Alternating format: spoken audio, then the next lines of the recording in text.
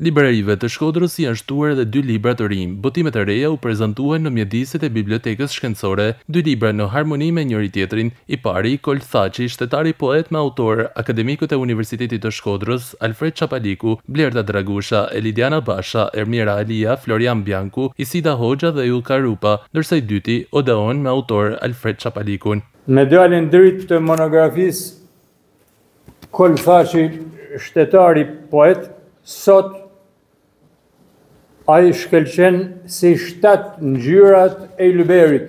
Këto vepra të reja kontribuojnë më tej në njohjen e figurave të shquara të Shkodrës dhe jo vetëm që nga historia deri në ditët e sotme, shprehen disa nga studiuesit pjesëmarrës në takim. Qendra e Studimeve Albanologjike u bë pika e takimit e këtij produkti shkencor kushtuar figurës shumëdimensionale të Kol Thaçit. Profesor Alfred Çapaliku është pedagog dhe studiues sistematik i letërsisë dhe i kulturës shqiptare, me një kontribut të dallueshëm në ndriçimin e autorëve dhe fenomeneve të ash Të anashkaluara të letërsisë shqiptare të traditës dhe të bashkëkohësisë. Një prej figurave të trajtuara gjerësisht në libër, Kol Thaçi ishte një nga kontribuuesit e shquar në disa fusha si arsim, politikë dhe letërsi, ndërsa disa kohë më parë Universiteti Luigj Gurakuqi organizoi edhe një konferencë shkencore për këtë personalitet.